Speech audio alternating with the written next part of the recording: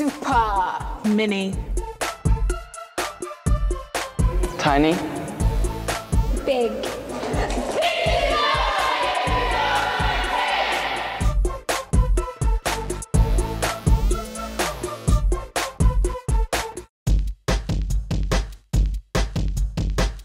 Uh, Secret Wars is a global live art battle, black and white, 90 minutes, freestyle.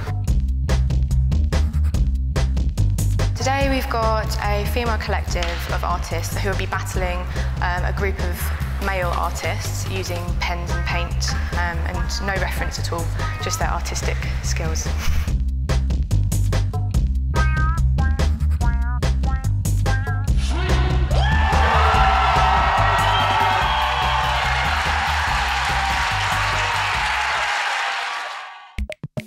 Today uh, we're doing a workshop with Jammer with some audio reactive VJ software. We're going to get them to take pictures of images and things around the galleries that represent quiet and loud. And depending on how loud the signal is, it picks a different image. At Loud Tate today, one of the workshops we have is Melodala. Melodala is an application specifically made for iPads in which you can make beautiful art.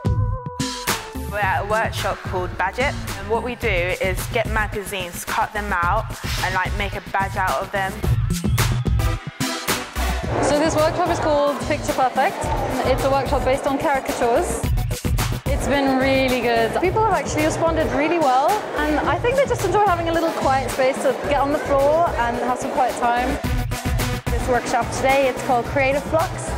We're building a collaborative sculpture using super mini, tiny and big boxes.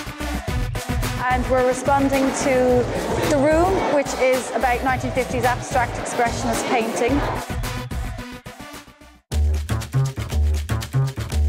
Well, another workshop that's taking place here today at Loud Tate 2010 is Print Club London. And what they're doing is they're getting people to sit down and draw like little images they like, anything they wish. And they are using them to make stencils and make various different pictures. And it seems to be like one of the most popular ones today because they've been like packed up all day today. It's cool, yeah, I really like it. It allows you to be creative. It's just good to see the different things that people do and kind of like different people's design thought processes, especially in a workshop like this where there's no limit to what they can do. It's all about creative freedoms. We were exploring the idea of, of us reacting to the Rude Britannia exhibition and how we could actually interact with the public. We specialise in photographic self-portraiture, which tends to be very English with a dark, twisted sense of humour. The theme of the day is super mini, tiny, big, and we're looking at um, sort of power and democracy. We wanted to turn Punch and Judy on its head. Instead of being puppets on the stage, they are controlling the show. We're actually combining a self-portrait of us with the individual portraits In a that kind we're of taking collage, today. yeah. yeah.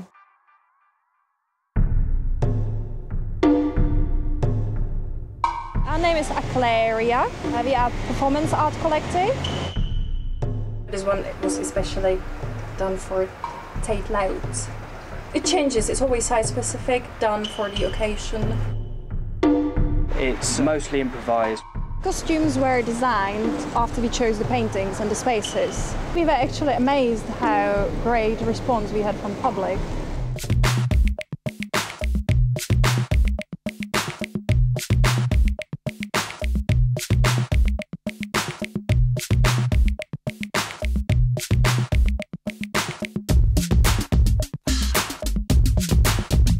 The name of my workshop is Mini Mints. It's sort of the combination of lots of small things to create something that big and collective.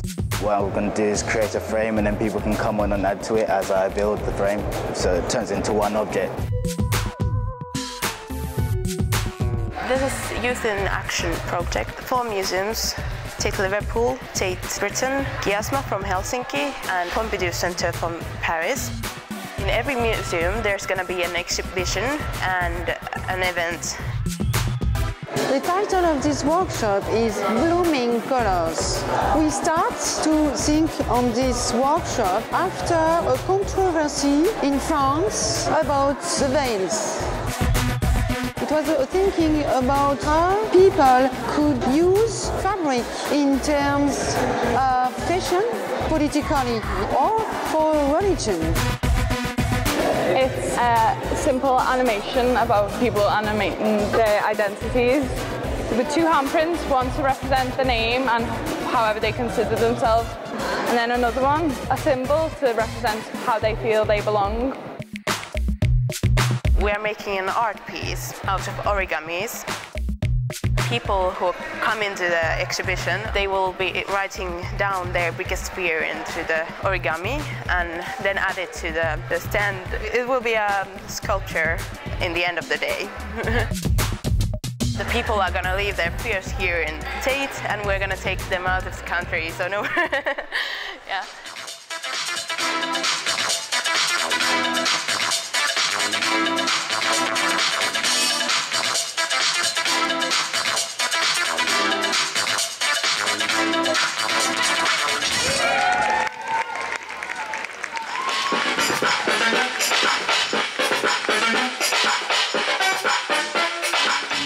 Music is the highest form of magic in a way. It kind of is a spiritual language that galvanises lots of people into the same room. So you could see in today's crowd that there's lots of different faces and colours and ages.